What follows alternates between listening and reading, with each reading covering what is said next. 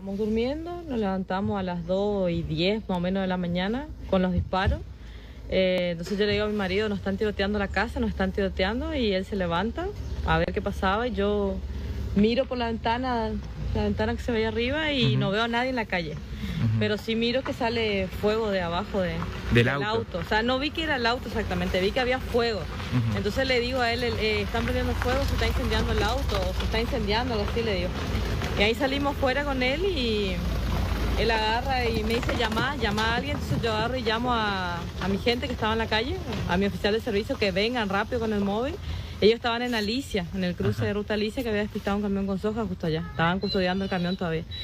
Y bueno, entonces yo, ellos vienen y yo eh, con él apagamos el, fuego del auto con la manguera porque llamé a bombero, pero el bombero me preguntaba cuánto es la ruta, qué cerca de qué, dónde y, con los nervios y la desesperación le expliqué, pero ya nosotros logramos apagar el fuego y bueno, y ahí eh, salimos y vimos el, que estaba incendiado el auto y después cuando salimos afuera vimos todas las vainas servidas y los disparos en el muro, en la reja, allá arriba de la casa.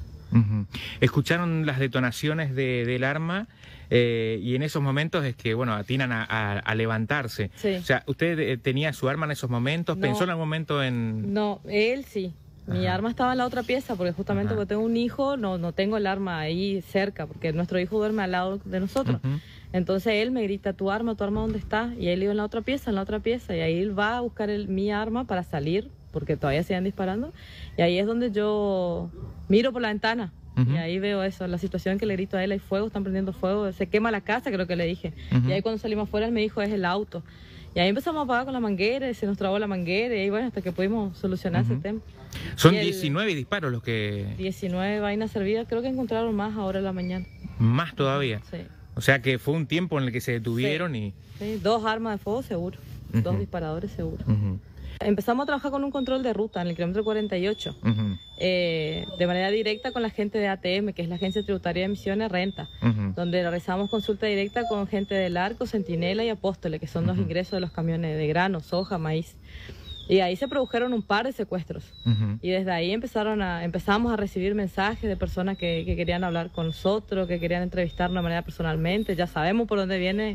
A ninguno le atendí y bueno, eh, pero sí, gente que ya hacía comentarios, por ejemplo, si sigue este puesto acá van a terminar mal, van a tener problemas.